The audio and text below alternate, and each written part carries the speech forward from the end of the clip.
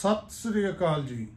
ਹਰਜਿੰਦਰ ਵਾਲੀਆ YouTube channel ਤੇ ਤੁਹਾਡਾ ਸਵਾਗਤ। ਪਿਆਰੇ ਦਰਸ਼ਕੋ, ਸ੍ਰੀ ਅਕਾਲ ਤਖਤ ਸਾਹਿਬ ਦੇ ਸਕੱਤਰੇਤ ਨੇ ਉਹ ਚਿੱਠੀ ਜਿਹੜੀ ਸੁਖਵੀਰ ਸਿੰਘ ਬਾਦਲ ਦੇ ਕੇ ਆਏ ਸੀ ਅਕਾਲ ਤਖਤ ਸਾਹਿਬ ਤੇ ਜਾ ਕੇ ਇੱਕ ਨਵਾਨੇ ਸਿੱਖ ਵਜੋਂ ਉਹ ਜਨਤਕ ਕਰ ਦਿੱਤੀ ਹੈ। ਔਰ ਸੁਖਵੀਰ ਸਿੰਘ ਬਾਦਲ ਨੇ ਗਲਤੀ ਮੰਨ ਲਈ ਹੈ ਔਰ ਮਾਫੀ ਮੰਗ ਲਈ। ਖਿਮਾ ਮੰਗ ਲਈ ਹੈ ਸੁਖਵੀਰ ਸਿੰਘ ਬਾਦਲ ਨੇ।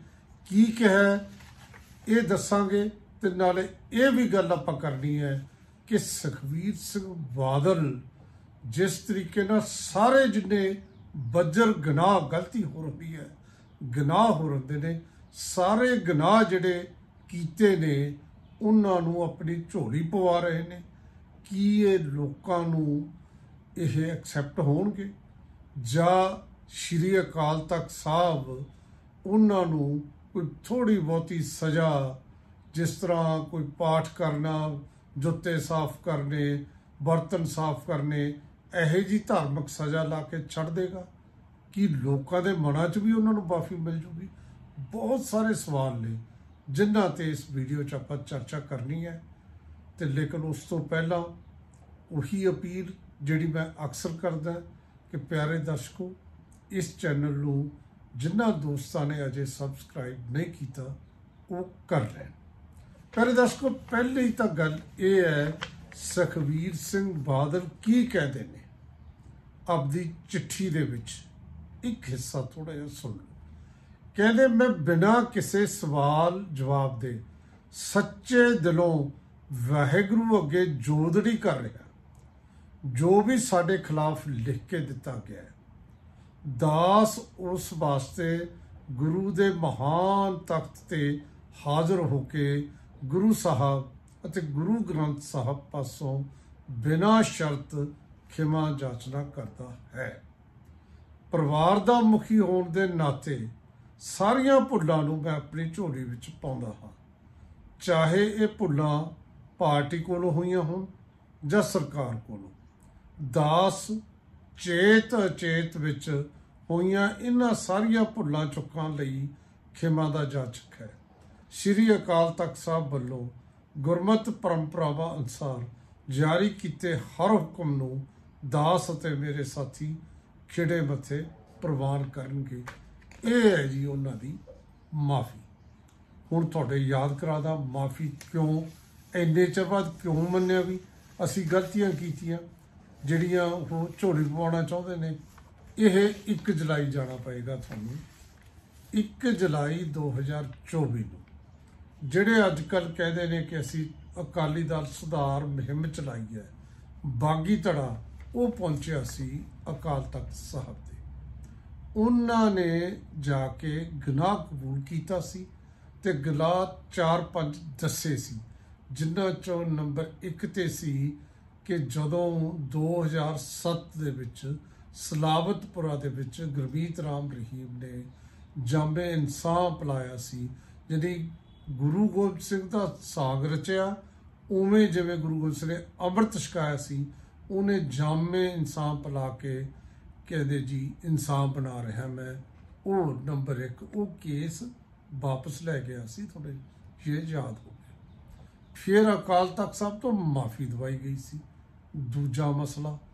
ਤੀਜਾ ਐਸਜੀਪੀਸੀ ਤੋਂ ਉਸ ਮਾਫੀ ਦੇ ਲਈ ਜਸਟੀਫਿਕੇਸ਼ਨ ਲਈ ਇਸ਼ਤਿਹਾਰ ਦਵਾਏ ਗਏ ਸੀ। ਕਹਿੰਦੇ ਨੇ ਕਿ 90 ਲੱਖ ਦੇ ਇਸ਼ਤਿਹਾਰ ਸੀ। ਫਿਰ ਬੇਅਦਬੀ ਆ ਜਾਂਦੀ ਹੈ 2015 ਚ। ਸ੍ਰੀ ਗੁਰੂ ਗ੍ਰੰਥ ਸਾਹਿਬ ਦੀ ਬੇਅਦਬੀ, ਕੋਟਕਪੂਰਾ ਬਹਿਬਲ ਕਲਾ, ਇਹ ਕਿਤੇ ਵੀ ਇਨਸਾਫ ਨਹੀਂ ਮਿਲਿਆ। ਅਕਾਲੀ ਸਰਕਾਰ ਹੋਵੇ, ਇਨਸਾਫ ਦਿਵਾਉਣ ਚ ਗੰਭੀਰ ਨਾ ਹੋਣ। ਇਹ ਗੁਨਾਹ ਫਿਰ ਉਹਨਾਂ ਨੇ ਕਿਹਾ ਜੀ, ਸਾਡਾ ਇੱਕ ਗੁਨਾਹ ਹੋਰ ਹੈ, ਸਵੇਰ ਸੈਣੀ। ਸਾਡੇ ਜਿਹੜਾ ਨੌਜਵਾਨਾਂ ਦਾ ਕਾਤਲ ਉਸ ਨੂੰ ਡੀਜੀਪੀ ਬਣਾਇਆ। ਫਿਰ ਇਸੇ ਤਰ੍ਹਾਂ ਦਾ ਬੰਦਾ ਇੱਕ ਹੋਰ, ਇਜ਼ਹਾਰ ਆਲਮ, ਉਹਦੀ ਪਤਨੀ ਨੂੰ ਟਿਕਟ ਦਿੱਤਾ। ਇਹ ਸਾਰੀਆਂ ਗਲਤੀਆਂ ਲਿਖ ਕੇ ਅਕਾਲ ਤਖਤ ਸਾਹਿਬ ਤੇ ਬਾਗੀ ਧੜੇ ਨੇ ਕਿਹਾ ਸੀ ਕਿ ਅਸੀਂ ਵੀ ਗੁਨਾਹਗਾਰ ਹਾਂ, ਕਿਉਂਕਿ ਅਸੀਂ ਉਹਨਾਂ ਦੇ ਨਾਲ ਸੀ, ਅਸੀਂ ਚੁੱਪ ਰਹੇ। ਇਹ ਗਲਤੀਆਂ ਸੁਖਬੀਰ ਸਿੰਘ ਬਾਦਲ ਨੇ ਕੀਤੀਆਂ। ਜਿਹੜੀਆਂ ਗਲਤੀਆਂ ਉਹਨਾਂ ਨੇ ਕੀਤੀਆਂ, ਜਿਹੜੀ ਗੱਲ ਉਹਨਾਂ ਨੇ ਆਪਣੇ ਮਾਫੀਨਾਮੇ 'ਚ ਲਿਖ ਕੇ ਦਿੱਤੀ ਕਿ ਜਿਹੜੇ ਬੰਦੇ, ਜਿਨ੍ਹਾਂ ਸਾਨੂੰ ਜੋ ਦੋਸ਼ ਲਾਏ ਗਏ ਸੀ, ਜਿਹੜੇ ਸਾਡੇ ਤੇ ਲੱਗੇ ਸੀ ਦੋਸ਼, ਉਹਨਾਂ ਦਾ ਜਵਾਬ ਇਹ ਹੈ ਕਿ ਮੈਂ ਪਰਿਵਾਰ ਦਾ ਮੁਖੀ, ਹਾਲੇ ਵੀ ਉਹ ਪਰਿਵਾਰ ਦੇ ਮੁਖੀ ਕਹਿੰਦੇ ਨੇ, ਆਪਣੇ ਆਪ ਨੂੰ ਮੈਂ ਸਾਰੀਆਂ ਗਲਤੀਆਂ ਮੰਨਦਾ ਆਪਣੀ ਝੋਲੀ ਪਾਉਣਾ ਇਸ ਕਿਸਮ ਦੀ ਗੱਲ ਉਹਨਾਂ ਨੇ ਕੀਤੀ। ਵੈਸੇ ਮੈਂ ਸਾਰਾ ਜਦੋਂ ਪੜ ਰਿਹਾ ਸੀ, ਇੱਥੇ ਮਾਫੀਨਾਮਾ ਨਹੀਂ, ਜਦੋਂ ਉਹ ਐਡਰੈਸ ਕਰਦੇ ਨੇ ਨਾ, ਵਾਹਿਗੁਰੂ ਜੀ ਕਾ ਖਾਲਸਾ, ਵਾਹਿਗੁਰੂ ਜੀ ਫਤਿਹ, ਗਿਆਨੀ ਰਘਵੀਰ ਸਿੰਘ ਜੀ, ਉਸ ਤੋਂ ਬਾਅਦ ਜਿਹੜਾ ਸਬਜੈਕਟ ਲਿਖਦੇ ਨੇ, ਸਪਸ਼ਟੀਕਰਨ ਲਿਖਦੇ ਨੇ। ਸਪਸ਼ਟੀਕਰਨ ਫਿਰ ਪੱਤਰ ਦਾ ਹਵਾਲਾ ਦਿੰਦੇ ਨੇ। ਇਹ ਉਹਨਾਂ ਨੇ ਲਿਖਿਆ ਉਦੋਂ ਬਾਅਦ ਫਿਰ ਉਹ ਲਿਖਦੇ ਨੇ ਉਪਰੋਕਤ ਵਿਸ਼ੇ ਦੇ ਸੰਬੰਧ ਵਿੱਚ ਆਪ ਜੀ ਨੂੰ ਬੇਨਤੀ ਆ ਕਿ ਸ਼੍ਰੋਮਣੀ ਅਕਾਲੀ ਦਲ ਸਮੂਹ ਪੰਜਾਬੀਆਂ ਤੇ ਵਿਸ਼ੇਸ਼ ਕਰਕੇ ਸਿੱਖ ਕੌਮ ਦੀ ਨੁਮਾਇੰਦਾ ਜਥੇਬੰਦੀ ਹੈ। ਇਸ ਜਥੇਬੰਦੀ ਦੀ ਸਥਾਪਨਾ 14 ਦਸੰਬਰ 1920 ਨੂੰ ਸ੍ਰੀ ਅਕਾਲ ਤਖਤ ਸਾਹਿਬ ਤੇ ਹੋਈ ਸੀ। ਇਹ ਸਾਰੀਆਂ ਗੱਲਾਂ ਇਸ ਤਰ੍ਹਾਂ ਜਿਹੜੀ ਸਪਸ਼ਟੀਕਰਨ, ਇੱਕ ਗੱਲ ਉਹਨਾਂ ਨੇ ਹੋਰ ਕਰੀ ਉੱਥੇ। ਉਹਨਾਂ ਨੇ ਇੱਕ ਨੱਥੀ ਕੀਤਾ ਸੀ ਪੱਤਰ ਆਪਣੇ ਪਿਤਾ ਦਾ। ਜਿਹੜੇ ਦਾਅਵਾ ਇਹ ਸੀ ਕਿ 17 ਅਕਤੂਬਰ 2015 ਨੂੰ ਅਕਾਲ ਤਖਤ ਸਾਹਿਬ ਤੇ ਪ੍ਰਕਾਸ਼ ਸਿੰਘ ਬਾਦਲ ਖੁਦ ਪੇਸ਼ ਹੋ ਕੇ ਦੇ ਕੇ ਆਏ ਸੀ। ਮੈਂ ਉਹ ਵੀ ਪੜਿਆ ਮੈਨੂੰ ਤਾਂ ਹੈਰਾਨੀ ਹੋਈ ਕਿ ਉਹ ਪੱਤਰ 'ਚ ਮਾਫੀ ਨਾਂ ਦਾ ਲਫ਼ਜ਼ ਵੀ ਨਹੀਂ ਲਿਖਿਆ ਪ੍ਰਕਾਸ਼ ਸਿੰਘ ਬਾਦਲ ਨੇ। ਉੱਤੇ ਤੇ ਜੇ ਉਹਨਾਂ ਨੂੰ ਤੁਸੀਂ ਥੋੜਾ ਜਿਹਾ ਮੈਂ ਤੁਹਾਨੂੰ ਉਹ ਵੀ ਦੱਸ ਦਿੰਦਾ। ਉਹ ਲਿਖਦੇ ਨੇ ਬਾਦਲ ਸਾਹਿਬ, ਪਿਛਲੇ ਦਿਨੀ ਜੋ ਘਟਨਾਕ੍ਰਮ ਵਾਪਰਿਆ ਹੈ, ਬੇਅਦਬੀ ਦੀਆਂ ਗੱਲਾਂ ਕਰ ਰਹੇ ਨੇ। ਘਟਨਾਕ੍ਰਮ ਵਾਪਰਿਆ ਹੈ, ਉਹ ਬੇਹੱਦ ਦੁਖਦਾਈ ਤੇ ਪੀੜਾ ਭਰਿਆ ਹੈ। ਇਸ ਨਾਲ ਪੰਜਾਬੀ ਸਮਾਜ ਅਤੇ ਖਾਸ ਤੌਰ ਤੇ ਸਿੱਖ ਭਾਈਚਾਰੇ ਦੀ ਮਾਨਸਿਕਤਾ ਨੂੰ ਵੱਡੀ ਸੱਟ ਵੱਜੀ ਹੈ ਅਤੇ ਮਨਾਂ ਦੇ ਵਿੱਚ ਦਰਦ ਦਾ ਅਹਿਸਾਸ ਡੂੰਘਾ ਹੋਇਆ ਹੈ। ਅਣਕਿਆਸੀਆਂ ਘਟਨਾਵਾਂ ਨੇ ਨਵੇਂ ਰਸਤੇ ਅਖਤਿਆਰ ਕਰ ਰਹੀਆਂ ਹਨ, ਜੋ ਹੋਰ ਵੀ ਜੋਖਮ ਭਰੇ ਬਣ ਸਕਦੇ ਹਨ। ਇਸ ਸਮੇਂ ਮੈਂ ਅਜਿਹੀ ਅੰਤਰਮਨ ਦੀ ਪੀੜਾ ਚੋਂ ਗੁਜ਼ਰ ਰਿਹਾ ਉਹਨਾਂ ਨੇ ਆਪਣੇ ਮਨ ਦੀ ਪੀੜਾ ਤਾਂ ਦੱਸੀ। ਕਿਤੇ ਵੀ ਇੱਕ ਅੱਖਰ ਵੀ ਮਾਫੀਨਾਮੇ ਦਾ ਵੀ ਸ- ਪ੍ਰਕਾਸ਼ ਸਿੰਘ ਬਾਦਲ ਨੇ ਨਹੀਂ, ਘੱਟੋ ਘੱਟ ਸੁਖਬੀਰ ਸਿੰਘ ਬਾਦਲ ਨੇ ਮਾਫੀ ਦੀ ਗੱਲ ਕੀਤੀ। ਇਹ ਤਾਂ ਹੈ ਬੈਕਗ੍ਰਾਉਂਡ ਹੁਣ ਕੀ, ਹੋ ਕੀ ਸਕਦਾ, ਆਪਾਂ ਉਹ ਦੇਖੀਏ। ਦੇਖੋ, ਇੱਕ ਗੱਲ ਇਹ ਹੈ, ਲੜਾਈ ਤਾਂ ਸਿਆਸੀ ਹੈ। ਹਾਲਾਂਕਿ ਸਿਆਸੀ ਲੜਾਈ ਨੂੰ ਸਿਧਾਂਤਕ ਲੜਾਈ ਬਣਨਾ ਚਾਹੀਦਾ ਸਿਧਾਂਤਕ ਤੇ ਸਿਆਸੀ ਲੜਾਈ ਹੈ, ਐਂ ਕਹਿ ਲਈਏ ਆਪਾਂ, ਇਸ ਨੂੰ। ਗਲਤੀਆਂ ਵੱਡੀਆਂ ਨੇ, ਗਲਤੀਆਂ ਨਹੀਂ ਕੀਤੀਆਂ। ਜਿਹੜਾ ਸੁਖਬੀਰ ਸਿੰਘ ਬਾਦਲ ਕਹਿੰਦੇ, ਮੈਂ ਗਲਤੀਆਂ ਕੀਤੀਆਂ। ਗਨਾਹ ਗਨਾਹ ਵੀ ਬੱਜਰ ਗਨਾਹ ਕੀਤੇ ਨੇ। ਇਹ ਵੀ ਗੱਲ ਆਪਾਂ ਨੂੰ ਮੰਨਣੀ ਪਵੇਗੀ ਇਹਨਾਂ ਦਾ ਹੱਲ ਕੀ ਹੈ? ਉਹਨਾਂ ਨੂੰ ਲੱਗਦਾ ਕਿ ਇਹਨਾਂ ਦਾ ਹੱਲ ਧਾਰਮਿਕ ਹੈ। ਧਾਰਮਿਕ ਸਜ਼ਾ ਮਿਲੂਗੀ। ਬਰਤਨ ਸਾਫ਼ ਕਰਾਂਗੇ, ਪਾਠ ਕਰਾਂਗੇ, ਕੜਾਹ ਪ੍ਰਸ਼ਾਦ ਦੀ ਦੇਖ ਕਰਾਵਾਂਗੇ, ਆਗੇ ਪ੍ਰਧਾਨਗੀ ਕਰਾਂਗੇ। ਇਹਦਾ ਸੰਕੇਤ ਉਹ ਦੇ ਚੁੱਕੇ ਨੇ। ਸੁਖਬੀਰ ਸਿੰਘ ਬਾਦਲ ਨੇ ਸੰਕੇਤ ਦਿੱਤਾ। ਜਦੋਂ ਉਹਨਾਂ ਨੇ ਆਪਣੀ ਨਵੀਂ ਕੋਰ ਕਮੇਟੀ ਬਣਾਤੀ। ਯਾਨੀ ਅੱਜ ਚਿੱਠੀ ਜਨਤਕ ਹੋਈ ਹੈ ਕੱਲ ਕੋਰ ਕਮੇਟੀ ਬਣ ਚੁੱਕੀ ਹੈ। ਇਹਦਾ ਮਤਲਬ 23 ਮੈਂਬਰੀ ਕੋਰ ਕਮੇਟੀ ਦਾ ਮਤਲਬ ਕਿ ਹਾਲੇ ਅਸੀਂ ਚੱਲ ਰਹੇ ਹਾਂ। ਅਸੀਂ ਹੀ ਪ੍ਰਧਾਨ ਰਹਿਣਾ ਤੇ ਉਹ ਵੀ ਕੰਮ ਕਰਨਾ ਹੈ। ਤੇ ਬਸ ਇਹ ਸਪਸ਼ਟੀਕਰਨ ਤੁਸੀਂ ਲਓ ਤੇ ਸਾਨੂੰ ਖਿਮਾ ਕਰੋ ਤਾਂ ਕਿ ਅਸੀਂ ਸੁਰਖਰੂ ਹੋ ਕੇ ਆਪਦੀ ਪ੍ਰਧਾਨਗੀ ਕਰੀਏ। ਇਹ ਅਸਲ ਸੁਖਬੀਰ ਸਿੰਘ ਬਾਦਲ ਇਸ ਤਰ੍ਹਾਂ ਦੇਖਦੇ ਨੇ। ਹੁਣ ਮੈਂ ਤੁਹਾਨੂੰ ਕਿਹਾ ਹੋ ਕੀ ਸਕਦਾ?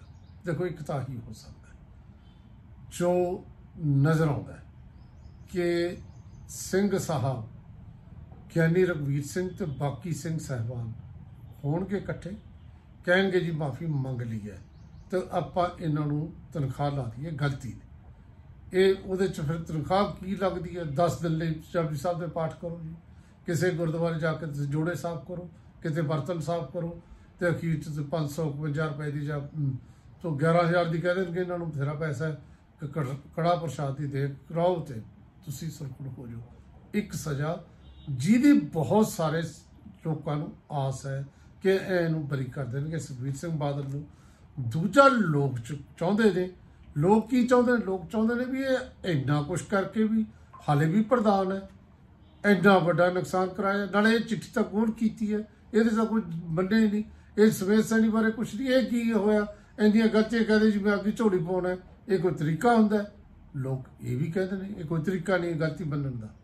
ਇਹ ਤਾਂ ਆਪਣੇ ਆਪ ਨੂੰ ਇੱਕ ਕਿਸਮ ਦਾ ਬਸ ਸੁਰੂਕਰ ਕਰਨ ਵਾਲੀ ਗੱਲ ਹੈ ਵੀ ਚਲੋ ਧਾਰਮਿਕ ਤੌਰ ਤੇ ਅਹ, ਅਕਾਲ ਤਖਤ ਸਾਹਿਬ ਨੂੰ ਅਸੀਂ ਇੱਕ ਵਾਰੀ ਕਹਿਣ ਜੋਗੇ ਹੋਈਏ ਕਿ ਅਸੀਂ ਨਮਾਨੇ ਸਿੱਖ ਵੱਲੋਂ ਆ ਗਏ ਤਾਂ ਗੱਲ ਖਤਮ। ਬਾਕੀ ਤੁਹਾਡੇ ਨੂੰ ਜੋ ਕਹਿੰਦਾ ਕਰੀ ਜਾਣ ਦੋ ਅਸੀਂ ਆਪਣੀ ਗੱਲ ਉਵੇਂ ਕਰਨੀ ਹੈ। ਤਾਂ ਇਹ ਦੂਜਾ ਲੱਗਦਾ ਹੈ। ਸ- ਹੁਣ ਜੋ ਤੀਜਾ ਵੀ ਇੱਕ ਪੱਖ ਹੈ। ਤੀਜਾ ਬਹੁਤ ਅਹਿਮ ਪੱਖ ਹੈ। ਉਹ ਹੈ ਸਿਧਾਂਤਕ ਪੱਖ ਤੇ ਅਕਾਲ ਤਖਤ ਸਾਹਿਬ ਦੀ ਸ਼ਾਖ ਦਾ ਸਵਾਲ। ਹੁਣ ਤੱਕ ਅਕਾਲ ਤਖਤ ਸਾਹਿਬ ਦੀ ਜਿਹੜੀ ਸ਼ਾਖ ਹੈ ਇਮੇਜ ਹੈ, ਸੰਸਥਾ ਜਿਹੜੀ ਅਕਾਲ ਤਖਤ ਸਾਹਿਬ ਦੀ, ਸ੍ਰੀ ਗੁਰੂ ਹਰਗੋਬਿੰਦ ਦੀ ਬਣਾਈ ਹੋਈ ਸੰਸਥਾ ਨੂੰ ਵੱਡਾ ਨੁਕਸਾਨ ਪਹੁੰਚਿਆ। ਪਰ ਵੱਡਾ ਨੁਕਸਾਨ ਤਾਂ ਉਦੋਂ ਹੀ ਪਹੁੰਚ ਗਿਆ ਜਦੋਂ ਗਿਆਨੀ ਗੁਰਬਖਸ਼ ਸਿੰਘ ਨੇ ਆਪ ਦੱਸਤਾ। ਕਿ ਸਾਨੂੰ ਬੁਲਾ ਕੇ ਕਰਾਇਆ ਗਿਆ ਮਾਫੀ ਦਵਾਈ ਗਈ ਹੁਣ ਤਾਂ ਮਾਫੀ ਦਾ ਇਹ ਹੋਇਆ ਜਿਹੜਾ ਪ੍ਰਦੀਪ ਕਲੇਰ ਨੇ ਕਿਹਾ ਕਿ ਟੈਂਪਰ ਕਰਕੇ ਮਾਫੀ, ਉਹਨੇ ਮਾਫੀ ਮੰਗੀ ਨਹੀਂ ਸੀ। ਮਾਫੀ ਵਾਲਾ ਸ਼ਬਦ ਇਹਨਾਂ ਨੇ ਕਿਵੇਂ ਦਾ ਆਪ ਲਿਖਿਆ ਸੀ। ਸੋ ਇਹ ਜਿਹੀਆਂ ਗਲਤੀਆਂ ਜਦੋਂ ਅਕਾਲ ਤਖਤ ਸਾਹਿਬ ਤੇ ਬੈਠਣ ਵਾਲੇ ਜਥੇਦਾਰ ਕਰਨਗੇ, ਜਿਨ੍ਹਾਂ ਨੂੰ ਐਸਜੀਪੀਸੀ ਖੁਦ ਅਪਾਇੰਟ ਕਰਦੀ ਹੈ, ਤੇ ਉਹ ਐਸਜੀਪੀਸੀ ਦੀ ਪ੍ਰਧਾਨਗੀ ਜਾਂ ਸਾਰਾ ਕੰਮ ਅਸਿੱਧੇ ਤੌਰ ਤੇ ਸੁਖਵੀਰ ਸਿੰਘ ਬਾਦਲ ਜਾਂ ਸ਼੍ਰੋਮਣੀ ਅਕਾਲੀ ਦਲ ਦੇ ਪ੍ਰਧਾਨ ਦੇ ਹੱਕ ਹੱਥ 'ਚ ਹੀ ਹੁੰਦਾ ਹੈ। ਤੋਂ ਇਹ ਸਾਰਾ ਕੁਝ ਉੱਥੇ ਫਿਰ ਸ਼ਾਖ ਉਹਨਾਂ ਦੀ ਵਿਦਾ ਤੇ ਲੱਗੀ ਹੈ। ਤੇ ਹੁਣ ਤਾਂ ਅਸਲ ਦੇ ਵਿੱਚ ਗਿਆਨੀ ਰਗਵੀਰ ਸਿੰਘ ਨੇ ਜੋ ਇੱਕ ਵਾਰੀ ਗੱਲ ਕਹੀ ਸੀ ਨਾ ਕਿ ਤੁਸੀਂ ਸਿਆਸੀ ਤੌਰ ਤੇ ਤਾਂ ਤਕੜੇ ਹੋ ਸਕਦੇ ਹੋ, ਜੇ ਤੁਸੀਂ ਹਰਮੰਦਰ ਸਾਹਿਬ ਵੱਲ ਮੂੰਹ ਕਰੋ, ਜੇ ਤੁਸੀਂ ਅਕਾਲ ਤਖਤ ਸਾਹਿਬ ਵੱਲ ਮੂੰਹ ਕਰੋ ਤੇ ਤੁਹਾਡਾ ਮੂੰਹ ਤਾਂ ਦਿੱਲੀ ਵੱਲ ਹੈ। ਜੇ ਸੱਚਮੁੱਚ ਐਸਾ ਕੋਈ ਸਜ਼ਾ ਸਿਆਸੀ ਤੌਰ ਤੇ ਵੀ ਬਹੁਤ ਹੋ ਗਿਆ। ਹਾਲਾਂਕਿ ਆਸ ਬੜੀ ਘੱਟ ਹੈ ਤੇ ਕਿਹਾ ਵੀ ਜਾ ਸਕਦਾ ਵੀ ਸਾਰੇ ਤੁਸੀਂ ਜਾਓ ਤੇ ਅਕਾਲੀ ਏਕਤਾ ਹੋਣੀ ਚਾਹੀਦੀ ਕੁਝ ਵੀ ਅਕਾਲ ਤਖਤ ਸਾਹਿਬ ਉਹਨਾਂ ਨੇ ਕਿਹਾ ਜੋ ਸਜ਼ਾ ਲਾਓਗੇ ਸ ਭੁਗਤਰਾਂਗੇ ਲੇਕਿਨ ਜਿਹਦੇ ਚਾਂਸਸ ਬੜੇ ਘੱਟ ਨੇ, ਪਰ ਬਾਲ ਜਿਹੜੀ ਹੈ, ਉਹ ਅਕਾਲ ਤਖਤ ਸਾਹਿਬ ਦੀ ਜਿਹੜੀ ਹੈ, ਉਹ ਪਾਲੇ ਚ ਹੈ। ਇੱਕ ਗੱਲ ਹੋਰ ਕਰ ਦਈਏ ਕਿ ਇੱਕ ਹੋਰ ਸਵਾਲ ਸੀ, ਸ਼੍ਰੋਮਣੀ ਕਮੇਟੀ ਦੇ 90 ਲੱਖ ਦੀ ਇਸ਼ਤਿਹਾਰਬਾਜ਼ੀ ਦਾ। ਉਹਦਾ ਜਵਾਬ ਦੇ ਦਿੱਤਾ ਪ੍ਰਧਾਨ ਸ਼੍ਰੋਮਣੀ ਕਮੇਟੀ ਨੇ। ਉਹ ਕਹਿੰਦੇ ਸ਼੍ਰੋਮਣੀ ਕਮੇਟੀ ਦੇ ਪ੍ਰਧਾਨ ਜੀ ਕਹਿੰਦੇ ਨੇ ਕਿ 24 ਸਤੰਬਰ 2015 ਨੂੰ ਸ਼੍ਰੀ ਅਕਾਲ ਤਖਤ ਸਾਹਿਬ ਦੀ ਮੀਟਿੰਗ ਵਿੱਚ ਡੇਰਾ ਮੁਖੀ ਦਾ ਮਾਮਲਾ ਜਿਹੜਾ ਹੈ, ਉਹਦੇ ਬਾਰੇ ਗੁਰਮਤਾ ਕੀਤਾ ਗਿਆ ਸੀ। ਜਿਸ ਤੋਂ ਬਾਅਦ ਸ਼੍ਰੋਮਣੀ ਕਮੇਟੀ ਦੇ ਤਤਕਾਲੀਨ ਪ੍ਰਧਾਨ ਅਵਤਾਰ ਸਿੰਘ ਦੇ ਹੁਕਮਾਂ ਤੇ ਮੁੱਖ ਸਕੱਤਰ ਹਰਚੰਦ ਸਿੰਘ ਨੇ ਇਸ਼ਤਿਹਾਰ ਜਾਰੀ ਕੀਤਾ। ਇੰਨੀ ਕੁ ਗੱਲ ਕਰਕੇ ਉਹਨਾਂ ਨੇ ਆਪਣੀ ਗੱਲ ਖਤਮ ਕਰਤੀ। ਸੋ ਅੱਜ ਜਿਹੜੀ ਇਹ ਚਿੱਠੀ ਜਨਤਕ ਹੋਈ ਹੈ ਇਸ ਨੇ ਇੱਕ ਵਾਰ ਸਿੱਖ ਕੌਮ ਦੇ ਵਿੱਚ ਫਿਰ ਵੱਡੀ ਚਰਚਾ ਛਿੜੀ ਹੈ ਸਵਾਦ ਛਿੜਿਆ ਔਰ ਲੋਕ ਚਾਹੁੰਦੇ ਨੇ ਕਿ ਇਹਦਾ ਕੋਈ ਸਹੀ ਸਿਧਾਂਤਕ ਜਿਹੜਾ ਹੈ, ਹੌਸਲੇ ਵਾਲਾ ਫੈਸਲਾ ਅਕਾਲ ਤਖਤ ਸਾਹਿਬ ਕਰੇ। ਦੇਖੋ ਮੈਂ ਤੁਹਾਨੂੰ ਦੋ ਤਿੰਨ ਜਿਹੜੀਆਂ ਗੱਲਾਂ ਦੱਸੀਆਂ ਨੇ। ਜੋ ਮੈਨੂੰ ਲੱਗਦਾ ਕਿ ਸੁਖਵੀਰ ਸਿੰਘ ਬਾਦਲ ਧਾਰਮਿਕ ਸਜ਼ਾ ਲਵਾ ਕੇ ਉਸ ਤੋਂ ਬਾਅਦ ਪ੍ਰਧਾਨ ਬਣੇ ਰਹਿਣਗੇ, ਇਹ ਮੈਨੂੰ ਲੱਗਦਾ ਹੈ। ਦੇਖਦੇ ਹਾਂ ਕੀ ਹੁੰਦਾ ਹੈ। ਅੱਜ ਨਹੀਂ, ਮਿਲਦੇ ਇੱਕ ਨਵੀਂ ਵੀਡੀਓ ਦੇ ਨਾਲ। ਤੁਹਾਡਾ ਬਹੁਤ ਬਹੁਤ ਸ਼ੁਕਰੀਆ।